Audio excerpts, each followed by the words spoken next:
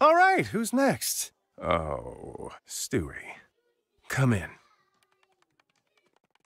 Okay, I just want to verify some medical history here. Any recent boo boos? No. Any ouchies or uh ohs? No, nothing like that. God. Good, good. And how many boogies would you say you consume in a week? Oh, God. Maybe like one, maybe two during the holidays, maybe? Stewie, I'm your doctor. I can tell just by looking at you that you're eating more than that. I'm thinking you had one just on the way here. What?